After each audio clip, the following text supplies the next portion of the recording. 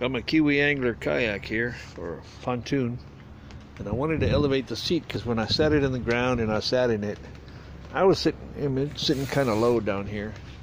So I made this little platform out of a three three quarter inch cutting board. I made a little guide here on each, one on each side, and in the back there's a little block. I'm gonna pull it out to show you here in a sec. But it's just enough to get me up to where I'm sitting flush with this part. The only problem is when I had it in there and I was pushing down on this, this was sliding forward, so I made these two little blocks here uh, to hold it in place.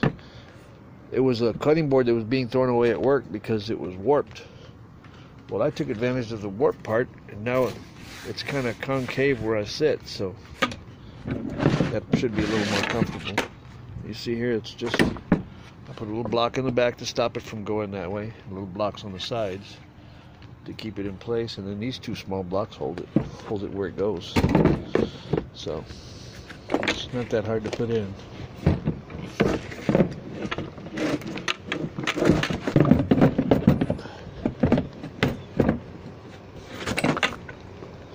And my uh, my kayak seat is a I think it's a, a YakGear about a fifty dollars seat came with the came with the boat but I found this thing. It's a, it's the pad from a car seat for little kids. Gives me a little lumbar support. Plus, it gives me extra padding when I'm sitting in it. I mean, I haven't, I haven't had to sit in it yet, or I haven't got to sit in it yet. But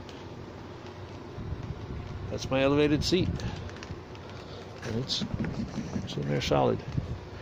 I mean, if I roll the kayak, it's probably going to fall out and I'll lose it, but. I could probably just put a little a little hole back here and tie a string to it. But that's how I elevated my seat on my Kiwi Angler pontoon kayak.